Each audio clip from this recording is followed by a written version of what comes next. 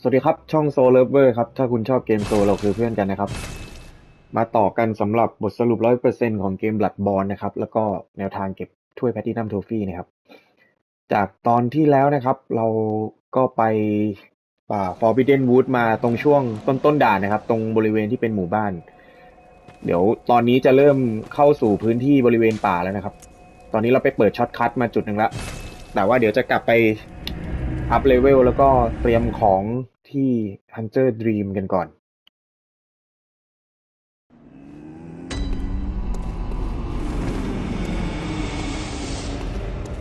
ตอนนี้ก็ยังไม่ได้มี rune อะไรโดดเด่นเพิ่มเติมนะครับ ผมจะมาตีบวก ขวานผมให้เป็น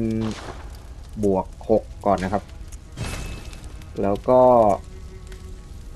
Hunter Pistol ผมจะตีเป็นบวกหนึ่งให้มันใส่ จมได้สักช่องหนึ่ง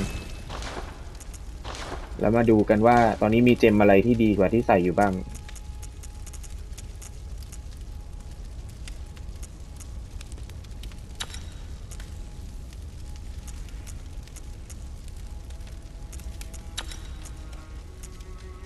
โอเค Hunter Pistol อืมแรงขึ้นแต่ยิงซึ่งก็ไม่ค่อยมีผลอะไร เอาฮิวเลือดแล้วกัน โอเค แล้วก็ up level นิดนึงนะครับ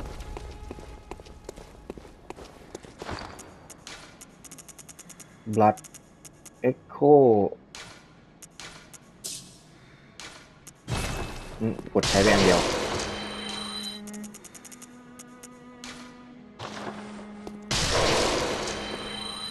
Welcome. What is? Very well. Let me. เพิ่มสเตมินานิดนึงเอาประมาณนี้แล้วกันนะครับ Farewell, good hunt. คนที่เล่นตามผมอยู่ไม่จำเป็นต้องอัพตามก็ได้นะครับ เอาที่เราถนัด Forbidden Wood Forbidden Wood นี่เป็นด่านที่ผมรู้สึกว่า หลงที่สุดในเกม Bloodborne แล้วนะครับ คือทางมันเป็นป่าแล้วก็งงมั่วไปหมดครับ แต่เดี๋ยววันนี้จะพาเดินแบบสำรวจทั่วทุกพื้นที่เลย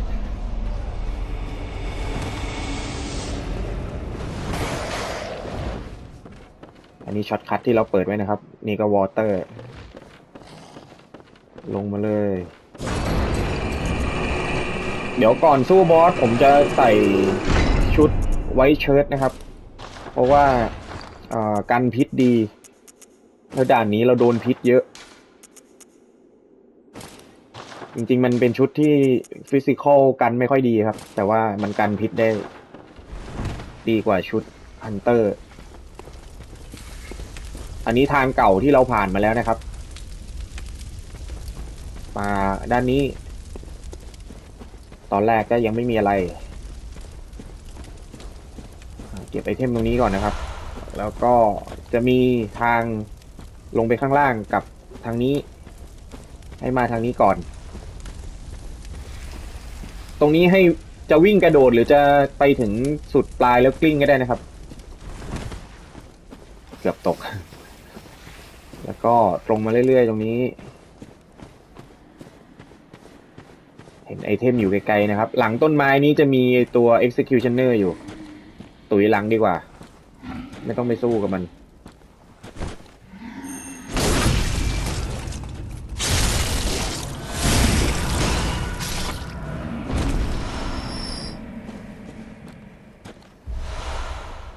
มีทวินบลัดนะครับ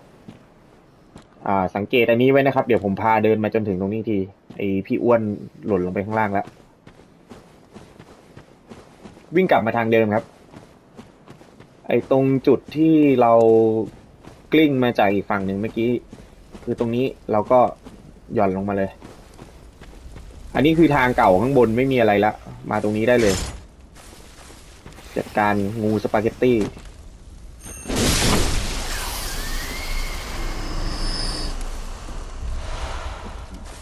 หลักๆเนี่ยมันจะมีมันจะมีถนนหลักนะครับ ตรงกลางเนี่ยที่เห็นเป็นอิฐอิฐปูอยู่ตรงเนี้ย แล้วก็ มันจะมีฝั่งซ้ายฝั่งขวานะครับ เดี๋ยวผมจะวนเก็บเรื่อยๆ แล้วจะมาเข้าถนนหลักทีหลังนะครับ จะพาเก็บแถวนี้ก่อน ตรงนี้ก็จะเก็บปีกซ้ายก่อน มีงูสปาเกตตี้อยู่เยอะแยะ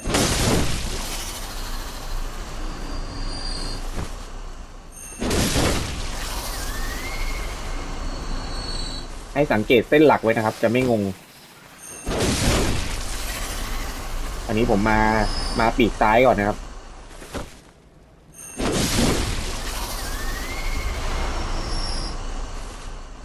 โอเค คือปีกซ้ายตรงนี้ไม่มีอะไรแล้วนะครับ ตันหมดแล้ว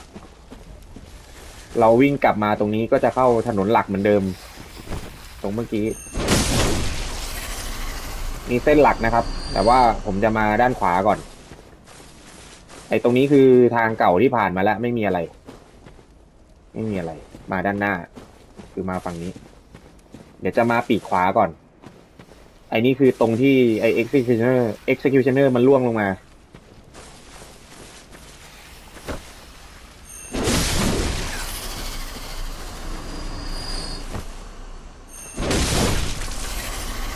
เก็บของตรงนี้ครับ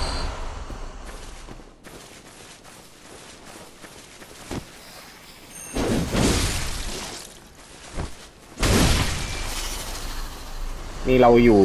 อยู่ปีกขวานะครับ เราไม่ได้ลงไปเส้นหลัก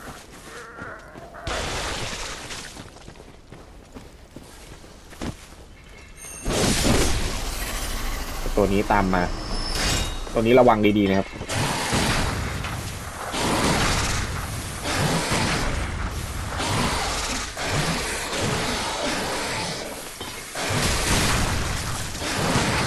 โอ้แพรรี่ไม่ได้เลย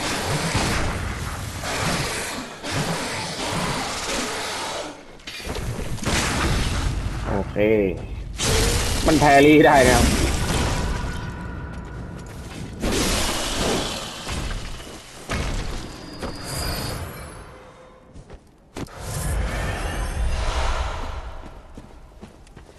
เราตอนนี้เรายังอยู่ปีกขวาอยู่นะครับ เรายังไม่ลงไปเส้นหลักนะ มาขวาเรื่อยๆก่อน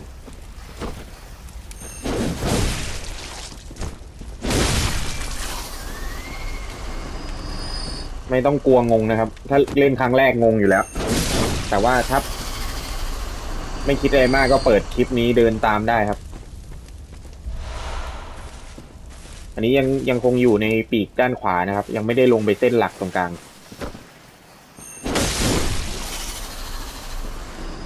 เดี๋ยวผมจะสำรวจฝั่งขวาด้านนี้ก่อน แล้วเดี๋ยวค่อยวนลงไปลงข้างล่าง แล้วค่อยย้อนเดินย้อนมาบรรจบกันอีกทีหนึ่ง มาในซอกนี้นะครับไอตัวนี้ตุยหลังดีกว่า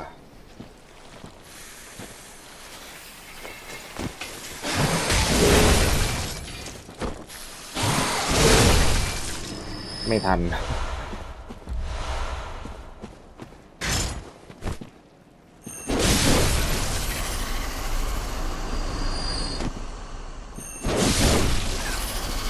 ในซอกหลังต้นไม้นี้มีของอยู่นะครับอ้าวไม่มี ไม่มีไม่มี ผมมั่ว อันนี้ทางเดิม มาด้านหน้าต่อ ยังคงอยู่กันในปีกขวานะครับ เรายังไม่ลงไปเส้นหลักที่เป็นถนนข้างล่างนะครับ มาทางนี้ก่อน ตรงนี้จะมีสปาเกตตี้ยักษ์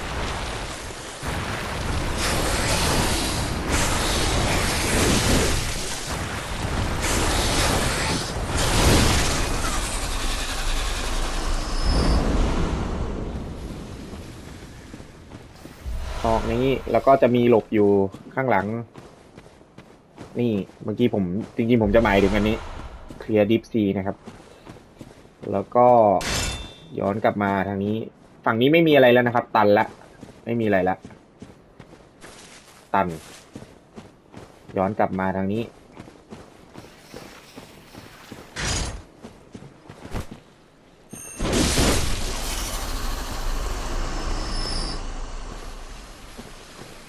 เดินลงมาครับ ไอ้ตรงแดงๆนั่นคือก็เป็นจุดสังเกตอย่างหนึ่งนะครับ แต่ว่าเราจะยังไม่ไปนะครับ เราจะมาตรงนี้ก่อน เดี๋ยวตรงนี้จะมีมนุษย์หัวงูสามตัวอยู่ถ้ำด้านขวาล่าง ถ้ามันยังไม่เข้าไปตุ๋ยเลยก็ได้ อีกทีหนึ่ง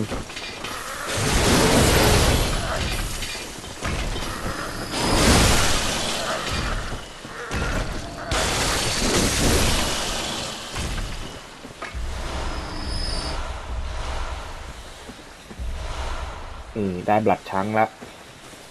ทีนี้ตรงไอเทมตรงนี้นะครับ ข้างล่างจะมีสปาเกตตี้ยักษ์สองตัว สามารถใช้วิธีพลังแอตแท็กสองครั้งได้นะครับ คือโดดลงไปพังแอตแท็กแล้วก็วิ่งหนีขึ้นมา แล้วค่อยลงไปใหม่ ลองดูนะครับ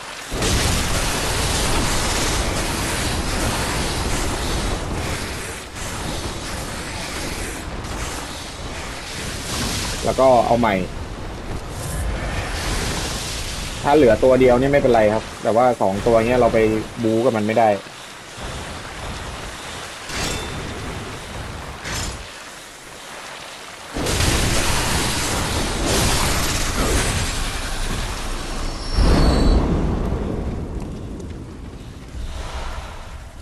ก็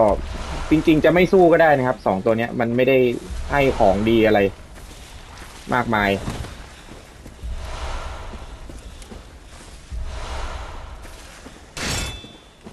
มี rune Deep Sea ก็ดีอยู่แหละ แล้วก็ ตรงนี้จะเป็นทางไป area ถัดไป ตรงข้างล่าง เดี๋ยวมาตรงนี้ก่อนนะครับ แล้วเดี๋ยวค่อยย้อนกลับไปด้านหลัง โอ้ย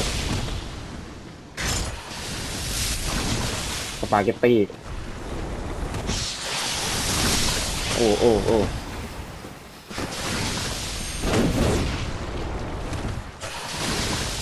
เก็บไอ้พวกลูกน้องก่อนครับ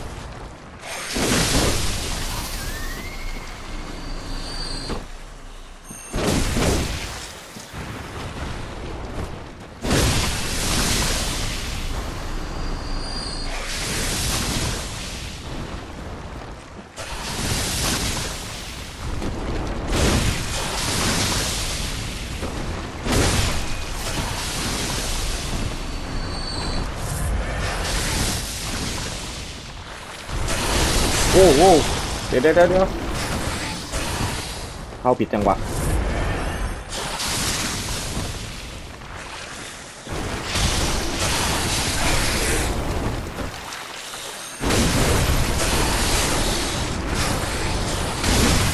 เฮ้ยเหลือสปาเกตตี้เล็ก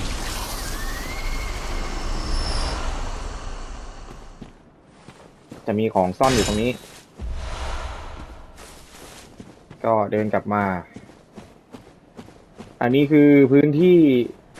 อ่าที่จะไปเชื่อมต่อห้องบอสนะครับ แต่ว่าเราจะไปเปิดมาจากทางอื่น เราจะไม่เข้าทางนี้ แล้วก็อันนี้เป็นทางเก่า ทางเก่าเมื่อกี้ที่ที่สู้กับอ่างูยักษ์สองตัวครับสปาเกตตี้ยักษ์สองตัว อันนี้เดินมาให้ดูเฉยๆนะแล้วก็ตรงนี้นะครับ เป็นทางอ่าเส้นทางหลักที่ถ้าเราเดินไปมันจะย้อนไปถึงตอนต้นคลิปนะครับ ขึ้นมาเก็บของบนนี้ก่อน บนนี้ไม่มีอะไรเลยแค่มาเก็บของอย่างเดียว หมดแล้วไม่มีอะไรละแค่เก็บของ แล้วก็สามารถใช้ Shining Coin ช่วยได้นะครับ วางเศษขนมปังโรยไว้ อ่า วางเป็นสัญลักษณ์ไว้ว่า ไอช่องเนี้ยเราขึ้นมาแล้ว ไม่ต้องขึ้นไปแล้ว แล้วก็ ด้าน ด้านนี้นะครับ จะเป็นพื้นที่ไปแอเรียถัดไปที่จะไปห้องบอสเรามาทางนี้ก่อน เราจะเราย้อนกลับไปทางเดิมก่อน เพื่อจะเคลียร์พื้นที่ให้หมดนะครับเดี๋ยวจะมีงู ไอ้นี่งูยักษ์ ผมขอเรียกว่างูยักษ์กองไฟนะ มันอยู่ตรงกองไฟ ไอฝั่งปีกซ้ายเนี่ยเราไปมาแล้วนะครับ แต่ว่าเดี๋ยวไอเทมอันนี้เราเก็บจากที่อื่น เดี๋ยวเราจะเก็บจากทิศอื่น วนมาจัดการในงูกองไฟก่อน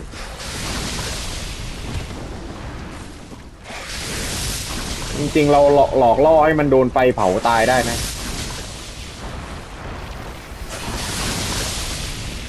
มันไม่มันไม่เคลื่อนตัวมา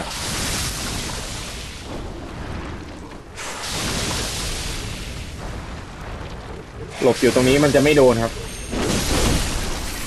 ไม่โดนพิษจัดการลูกน้องมันก่อนก็เข้าไปบูตอนนี้ลูกน้องมันจะทำเสียจังหวะ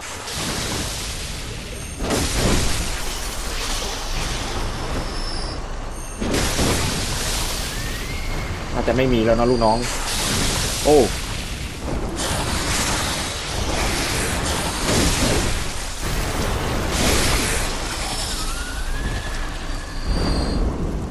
อันนี้คือกองไฟนะครับ ผมจะเรียกว่าจุดกองไฟ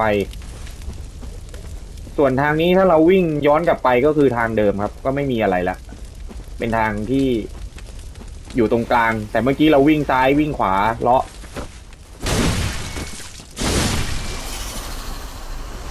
คือแอเรียพวกนี้ทั่วหมดแล้วนะครับสำรวจมาหมดแล้ว ไม่มีอะไรละเอามีมีตรงนี้ชิ้นหนึ่งแมดแมนโนเลตแล้วก็ลงมาข้างล่างนี้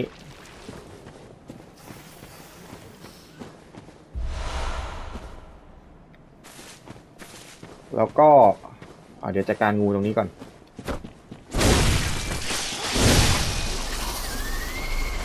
อันนี้คือทางตรงกลางครับ ตรงกองไฟกลาง ฝั่งขวาไปหมดแล้ว ฝั่งฝั่งซ้ายเนี่ย ตรงนี้ถ้าโดดพลาดตายเลย เราจะไปเก็บ item มี item ชิ้นหนึ่งซึ่งต้องต้องกระโดดทางนี้เท่านั้นมาจากทางอื่นไม่ได้ ก็วิ่งมาจนสุดแล้วกระโดด แต่ถ้าไม่อยากเก็บก็ไม่เป็นไรไม่ได้มีผลอะไรกับเนื้อเรื่องเป็นหมวก Graveyardเดี๋ยวเล็งดีๆก่อนกระโดด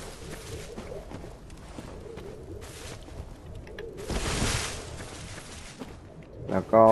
มาทางนี้ครับ นี่นะครับ หมวก Graveyard Mask ทีนี้ก็ไม่มีอะไรแล้ว ตรงเนี้ยก็ลงเลย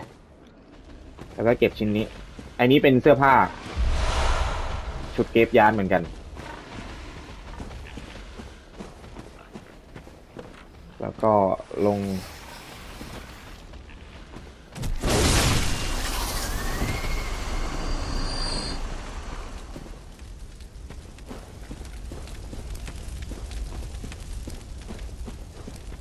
รงด้านล่างเนี้ยจะเป็นบ่อน้ำนะครับ เดี๋ยวเราจะมาที่หลัง ยังมีตรงที่ยังไม่ได้สำรวจอยู่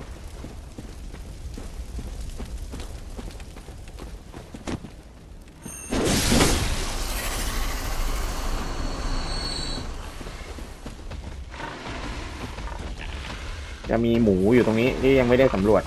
เดี๋ยวจัดการตัวนี้ก่อน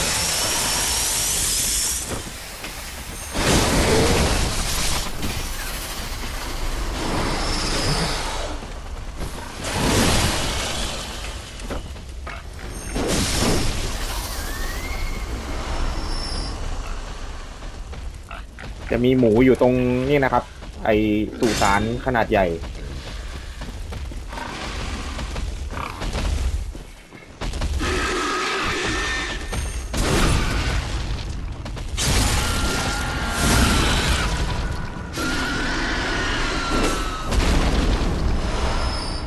มีไอมนุษย์หัวงูอีกตัว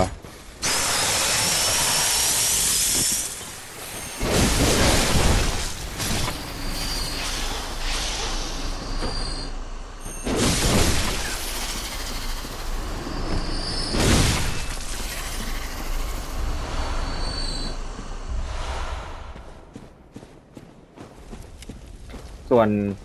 ตรงนี้มันก็เชื่อมกันหมดนะครับาจากหลุมฝังศพ ตรงนี้เราจะลง ทางด้านข้างนี้ก็ได้ มันจะเชื่อมกัน มันจะเป็นทางไปลงบ่อน้ำหมดเลยสส่วนพื้นที่อื่นด้านหลังในด่านเราเราเคลียร์หมดแล้วนะครับ ก็เดินลงมาอย่างเดียวเลย ตัวนี้อีกตัว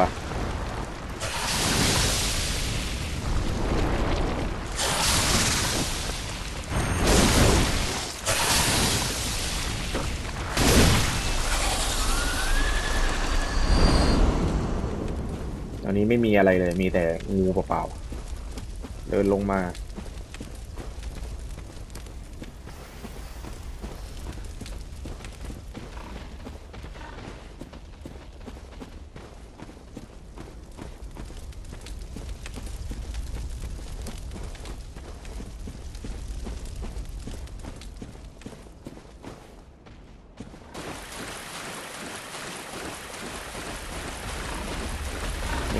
จะมี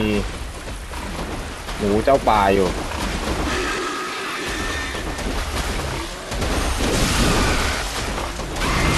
โอ้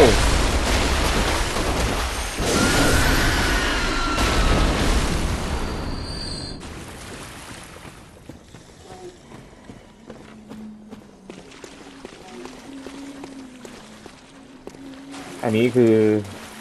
บ่อผีพาย อีกนิดเดียวก็จะไปหน้าห้องบอสแล้ว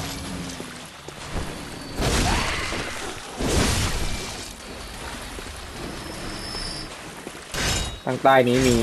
ถ้าจำไม่ผิดจะเป็นรูนอยู่ครับ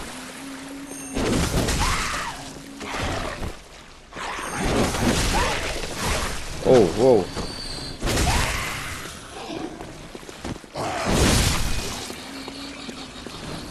อีกตัวสองตัว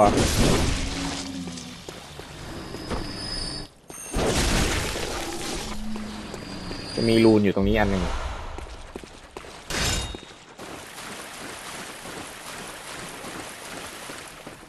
เดี๋ยวพาไปเปิดทางลับอีกจุดกันก่อน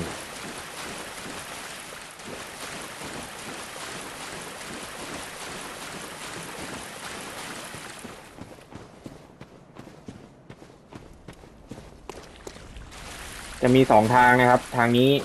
กับทางนี้ ทางนี้เป็นทางไปเปิด shortcut อีกทางหนึ่ง ส่วนทางนี้เข้าไปจะมีมนุษย์ต่างดาวอยู่สี่ห้าตัว แล้วก็มี item ให้เก็บ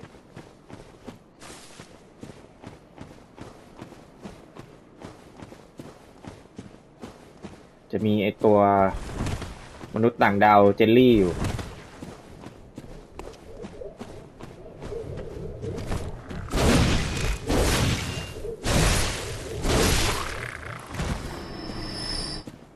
นี้มีไอเทมจริงจุดนี้เราสามารถโดดมาได้จากทางอื่นนะครับ แต่ว่ามันก็เชื่อมกันหมดอยู่แล้วนี่รีบจัดการเลยโอ้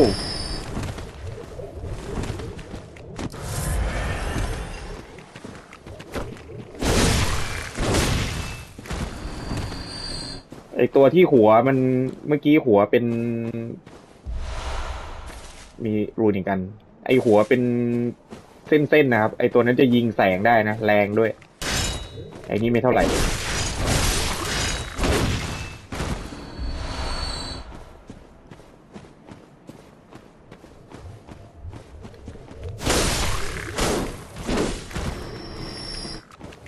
ตัว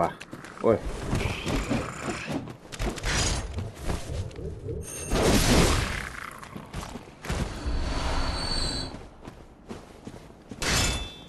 ตรงนี้ก็ ไม่มีอะไรแล้วนะครับ หมดแล้ว ไอจุดนี้แหละ จุดที่ผมบอกว่าเราโดดมาจากทางอื่นได้ มีซ่อนอยู่ตรงนี้ชิ้นหนึ่ง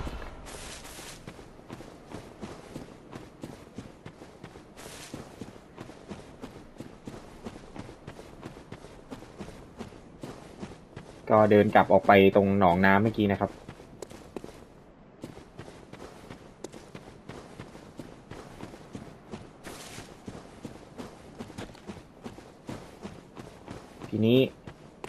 างไปห้องบอสเมื่อกี้คือ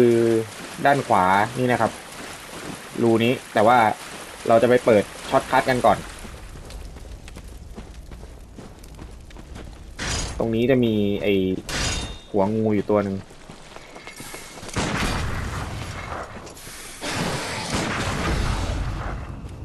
โอ้โดดไม่ทัน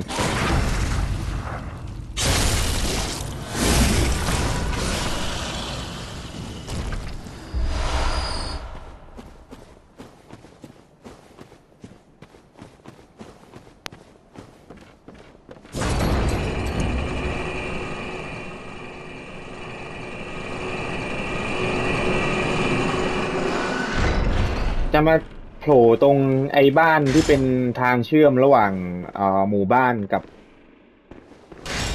หมู่บ้านกับป่าครับ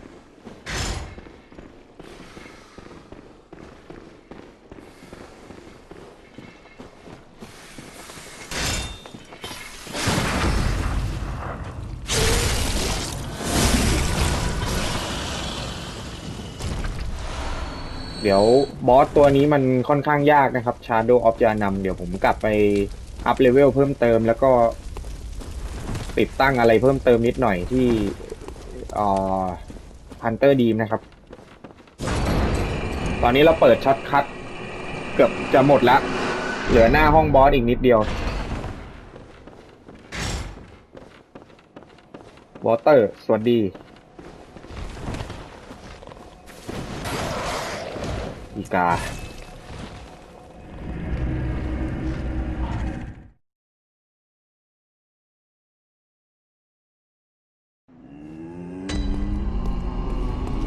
เตอร์ดีม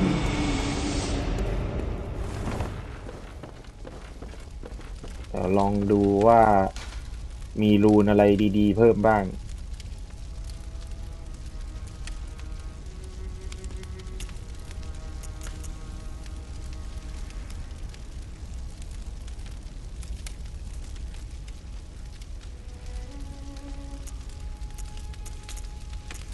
ก็ได้รูนดีๆมาเยอะอยู่นะครับ แต่ว่าอันที่ใส่อยู่ก็ดีอยู่แล้ว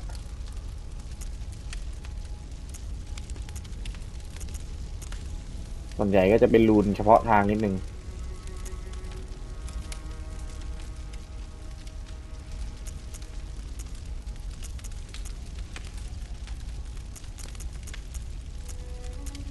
ไปสู้บอสผมเนี่ยที่ที่มีอยู่โอเคแล้วครับ โอเค แล้วก็เดี๋ยวมาดูว่าได้เจมอะไรเพิ่มบ้าง ส่วนตีบวกน่าจะยังไม่พอ เพิ่งได้ช้างอันเดียว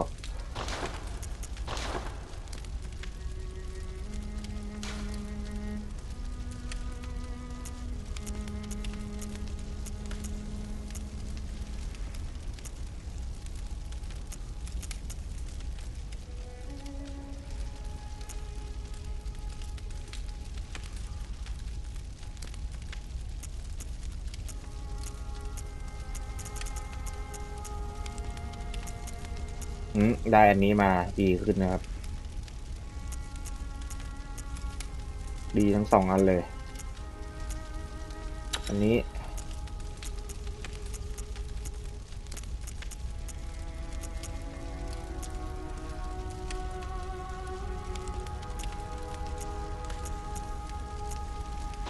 โอเค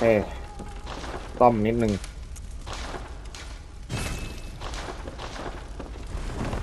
แล้วก็อัพเลเวลครับ ได้เอ็กโคมาเพียบเลย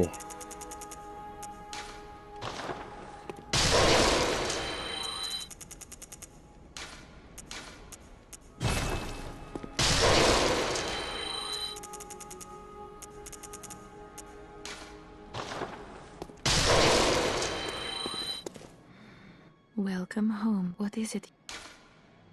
Very well. Let the มันชอบ echoes กดท่า become เก your เจอร์เอง strength. Let me. s-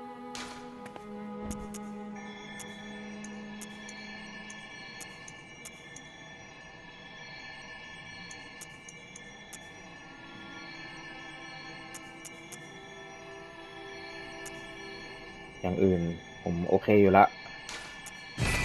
อย่างนี้แล้วกันนะครับ แล้วก็เดี๋ยวเปลี่ยนชุดนิดนึง เพราะว่าบอสมันไม่ได้อะไรกับพิษมากมาย เดี๋ยวจะเอาเสื้อที่ physical โอเค แล้วก็กันไฟดี ก็คงจะหนีไม่พ้นชุด Hunter basic เนี่ยครับ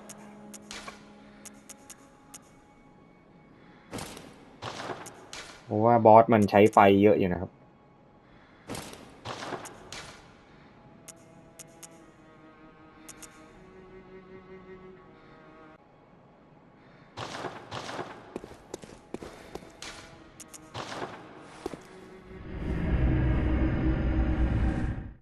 เหลือพื้นที่หน้าห้องบอสอีกนิดเดียวครับ แล้วก็สู้บอสละ ก็จะเป็นบอสชื่อ Shadow of Yanam นะครับ เป็นเหมือนนินจาสามตัวมาลุมเราที่โกงมาก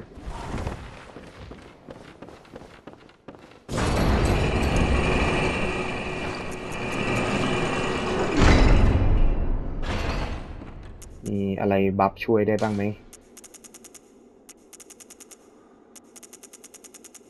มีกระดาษไฟอยู่แค่อันเดียว ไม่เป็นไร อันเดียวก็เอา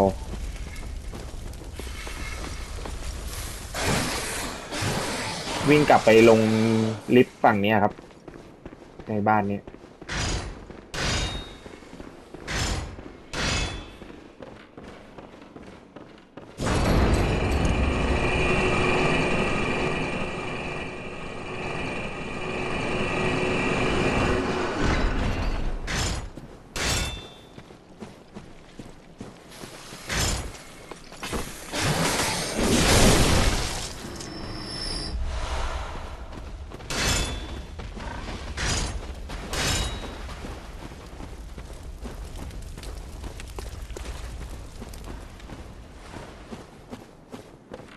รงนี้มีของอยู่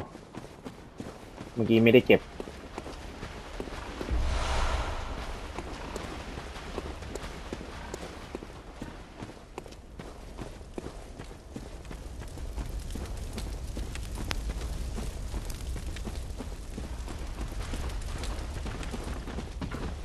หมู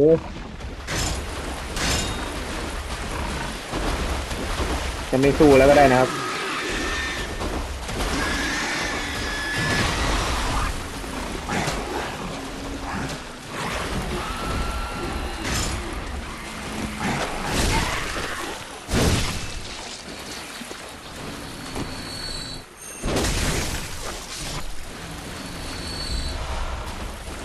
มีหมูยักษ์อีกตัว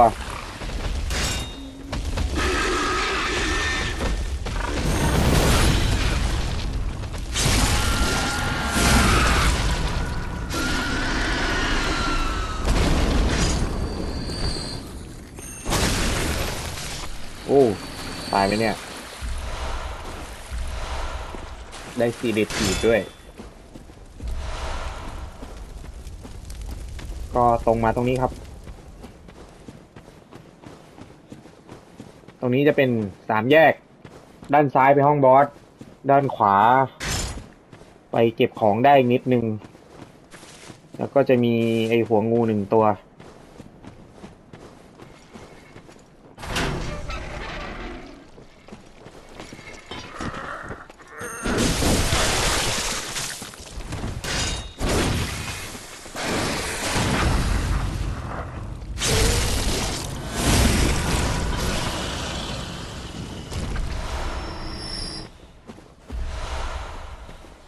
ตรงนี้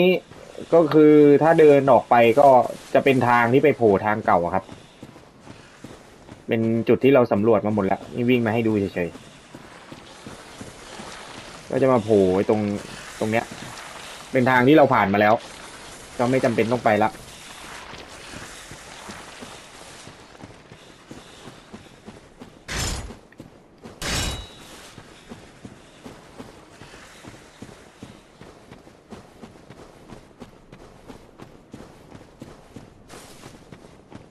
อ่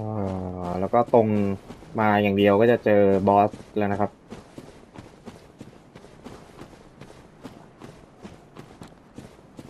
เข้าไปในนี้ครับ ก็จะเจอบอสแล้วเอาผม มีอะไรไปใช้ได้บ้างไหมผมใช้แต่กระดาษไฟแล้วกัน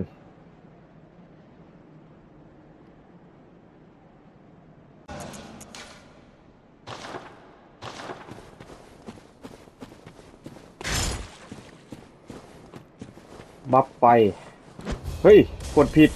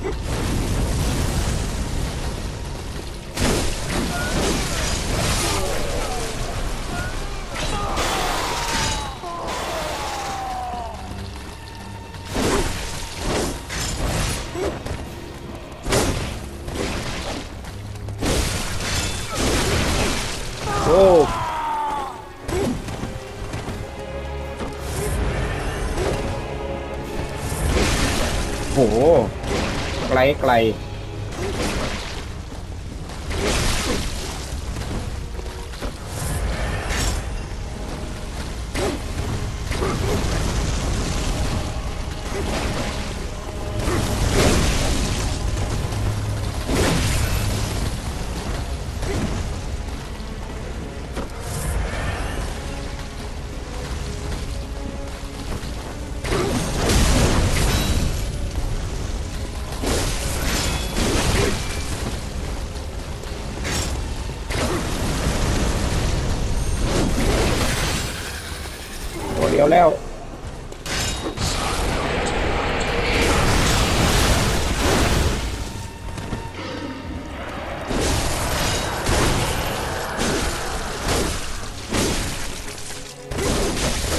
โว้โว้โว้โว้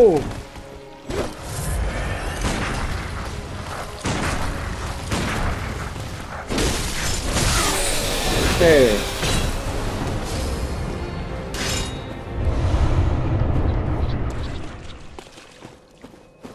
ก็จบแล้วนะครับสำหรับในส่วนของด่าน Forbidden Wood นะครับ แล้วก็บอสอ่า Shadow of Yanam นะครับ ทั้ง 3 ตัว พื้นที่ข้างหน้าจะเป็นทางไปสถาบัน Brighton w o r d นะครับ ซึ่งเราจะมาที่นี่อีกทีทีหลังนะครับ ก็หวังว่าคลิปไกด์บทสรุป อันนี้จะเป็นประโยชน์กับเพื่อนๆไม่มากก็น้อยนะครับ ขอบคุณที่ติดตามชมนะครับ เดี๋ยวกลับมาพบกันใหม่ตอนหน้านะครับ ตอนหน้าน่าจะไปอ่ายาฮาเกาก่อนนะครับ แล้วก็ค่อยค่อยมาไบรเกนเวิร์ดทีหลัง ก็ขอบคุณที่ติดตามชมนะครับ เดี๋ยวเจอกันใหม่ครับ สวัสดีครับ